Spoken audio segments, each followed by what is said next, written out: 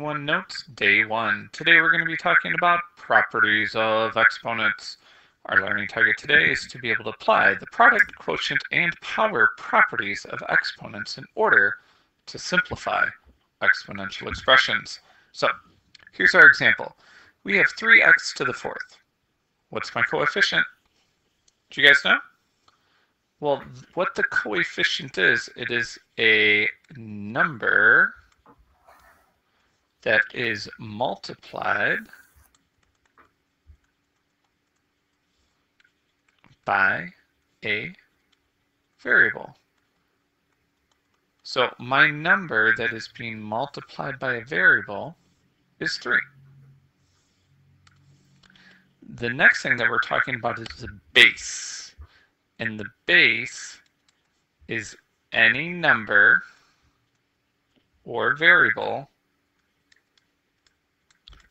that has an exponent. So who does the exponent belong to? Well, the exponent belongs to the x. Then we have the exponent itself. Now, most of you are going to be like, I know what the exponent is. Yes, that is the 4. Okay? But what that tells us is it tells us how many times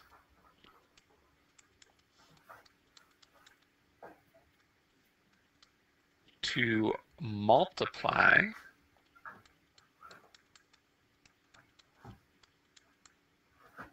the base by itself.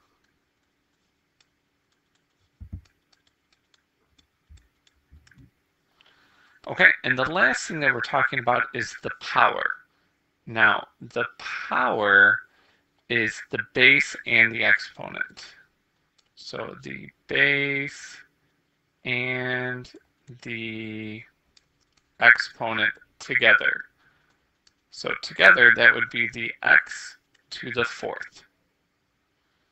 Okay, so now that we have that, we can start our notes. And oh my gosh, where'd my notes go? Hold on a sec. Okay, we're back. So, we're going to talk about three properties today.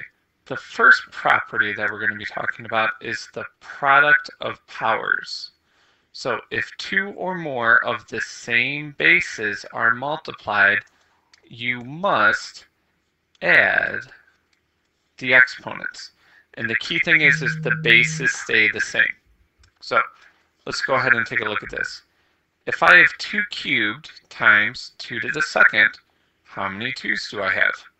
So what this is telling me is that I have the same base, so I add the exponent. So it's saying 2, and then I add the 3 plus 2, which is 2 to the 5th.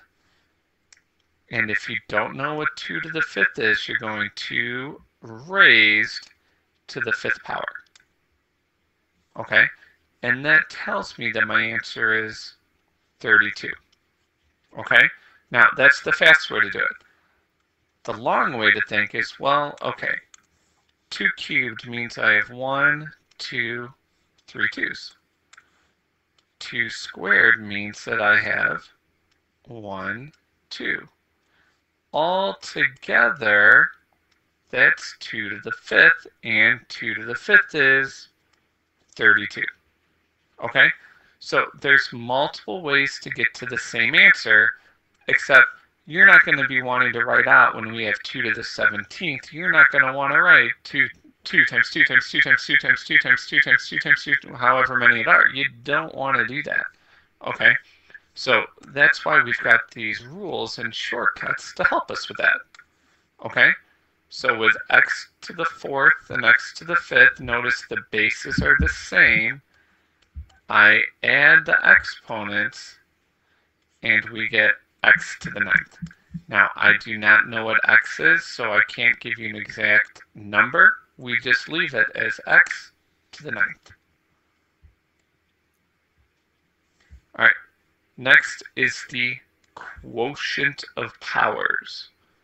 So, if two or more of the same base are divided, now we must subtract the exponents. And remember, it's not saying it on mine, but the bases stay the same. I'm sure it says it on yours. Okay? So, 3 to the 5th over 3 to the 4th. So the rule is saying that whoever wins, we subtract. Okay? So the top wins 5 minus 4. What's 5 minus 4? 1. And the 1 is on the top. Okay? Once again, the long way to show you how to do this is the top. We have 1, 2, 3, 4, 5. On the bottom, we have 1, 2, 3, 4. Well, they cancel, they cancel, they cancel, they cancel. And on the top is 3. Okay, but we're not going to want to do that every single time. Okay, so on our next one, who wins? Does the top win or the bottom win? The bottom wins, okay? So the bottom wins. 9 minus 2, or 9 minus 7 is 2. And everything cancels out on the top. And when everything cancels out on the top, we put a 1. 1, and I'm just going to add those numbers. 3 plus 2 plus 1 is 6. And then 2 to the 6th power, 2 raised to the 6th power is 64. So 64 is my final answer. Now, number 2, once again, this is multiplication. So it's product of powers. I'm going to add those up. I've got negative 3. It's the same base. 4 plus 2 is 6. Now, when I'm doing negative 3 to the 6th, I'm going to type it in exactly as I see it, including the parentheses. Because if you do it without the parentheses, you're going to get a different answer. Okay? So this is 729.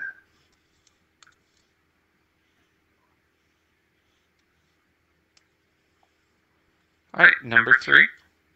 I have the same bases, so I'm going to add the exponents.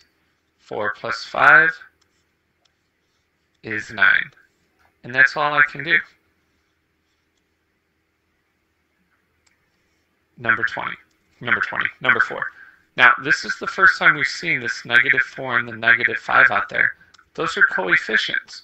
We're going to do exactly what it tells us to do, and that's multiply.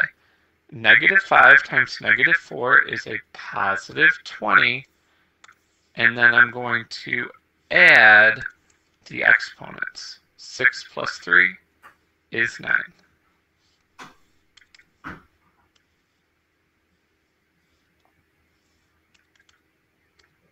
right, we're good with the first page. Now let's flip it over.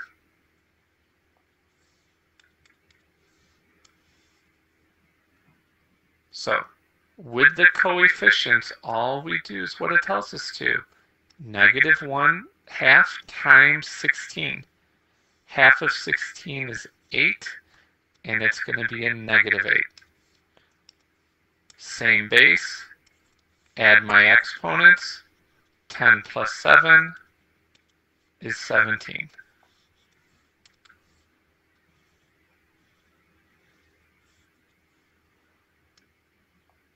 Okay, so don't get freaked out. Find, um, I'm going to do the exponent, or not the exponents, the coefficients first.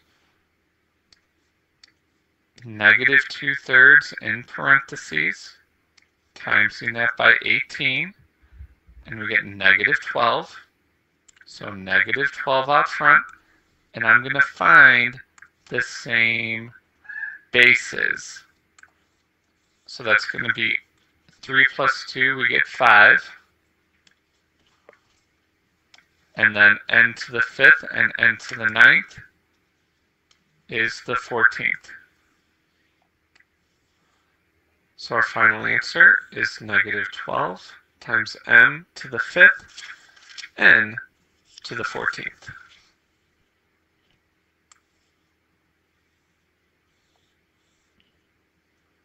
All right, number seven. So now we're looking at the quotient of power rules. I have the same base. Who wins, the top or the bottom? Yeah, the top wins. And the top wins by 2, because 5 minus 3 is 2. And then 2 to the second power, 2 times 2, 4. Good. I hope you didn't use your calculator for that. Okay, now, see the difference between 7 and 8? Who wins, the top or the bottom? The bottom wins this time, so everything on the top cancels out. I need to make sure that that 2 is on the bottom. Okay? Now, 2 squared, we just did it, is 4, but this time it's 1 fourth, because that 4 is on the bottom.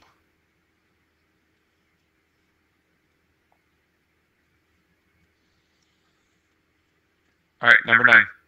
Who wins, top or bottom?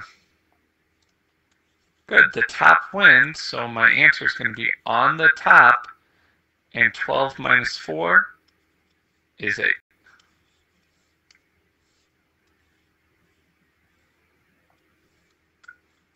Who wins for 10? Yeah, the bottom wins. So I'm going to make sure that there's a 1 on the top because my final answer needs to be on the bottom and 12 minus 4 is 8.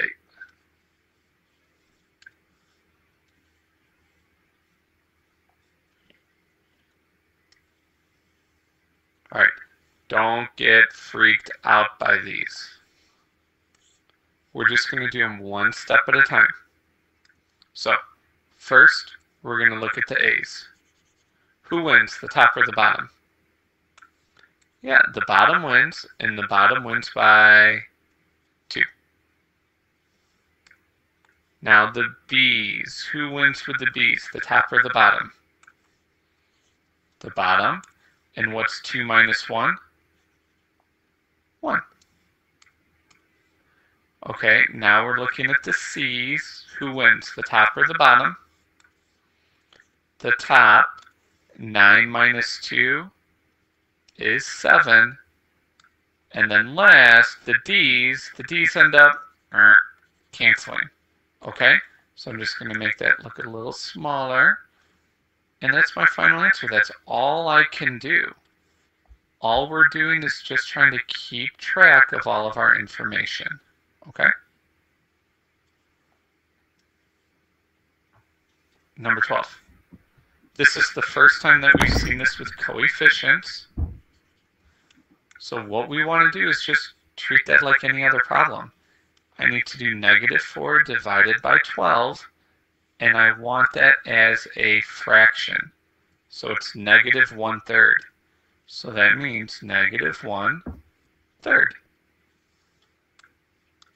So now we're going to look at the x's, and the x's cancel. And now the y's. Who wins with the y's, the top or the bottom? Yeah, the top. And the top wins by 2.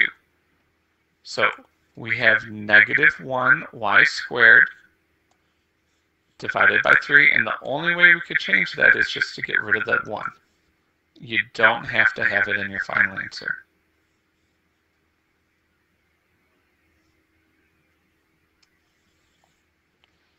All right, number 13, now we're going to be talking about the power of power rules. Remember, if there's